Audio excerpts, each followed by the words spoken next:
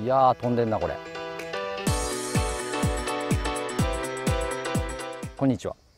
今回ですねこのグラインドワークスのイクイノックス。知らないでしょこれ。ジクラブなんですけどもうすでにですねパトリック・リード選手使ってます。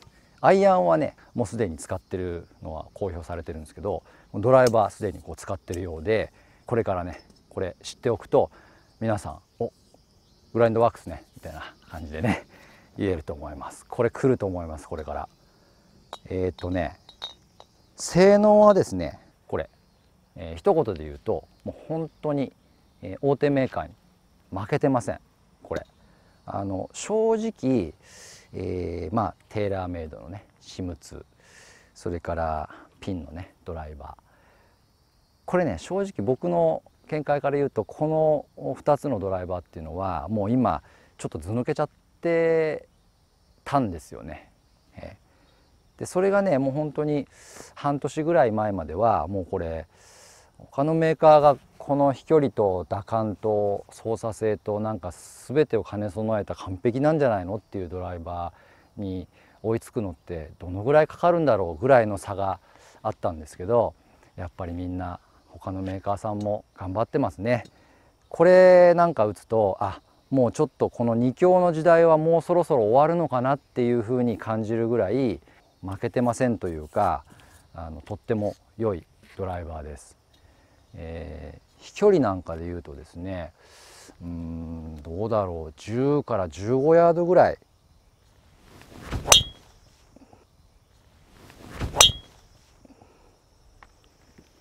飛んでます。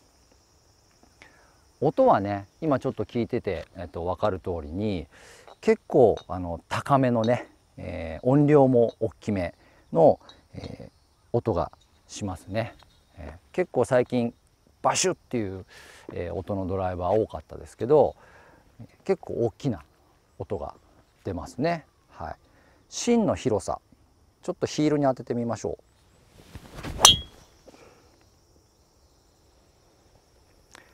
変わらずです。おお距離。10ヤード変わってないです。飛んでます。塔に当ててみます。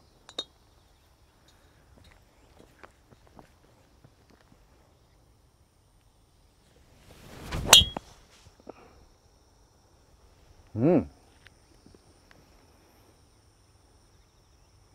大体塔に当たるとグイッてこうシャフトがこう持ってかれる感じが普通あるんですけどもシャフトもこれすごいですね。もうミスヒットをこのトルクでグイッとこういなしてくれてこっちでこうずれてもグリップまで伝わらないですね。こうグイッてやったものをシャフトでもう一回グイッてこう戻してくれて直進安定性も塔に当たってもヒールに当たってももう本当に変わらないですね。すごく安定してます。これだったらも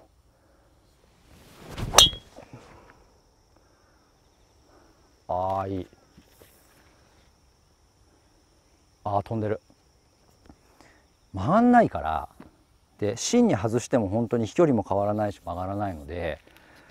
うん僕ねよくマネージメント論でうんまあコース設計家っていうのは大体平均ですけども、えー、前半2ホール後半2ホールは刻むべきホールっていうのを大体作るんですよ。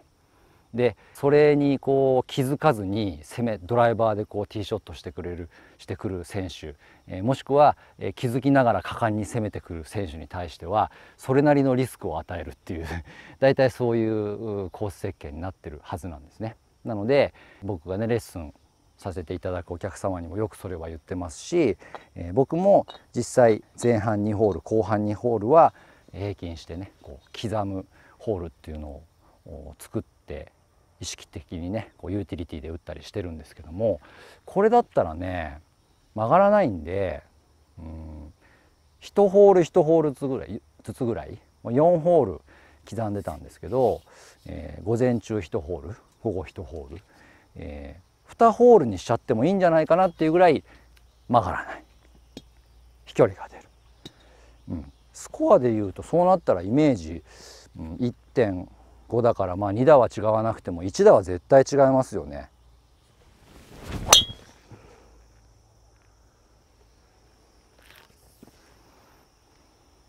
うん。飛距離、えー、操作性、えー、芯の広さ、えー、シャフトのフィーリング。でカチャカチャもついてます。弾道調整も自由自在です、はい、トータルバランスがもう地クラブとは思えない。もう本当に大手メーカーがものすごい額をかけてね開発したものに全く引けを取っていません。グラインドワークスイクイノックス。はい。これ絶対みんな覚えておいてください。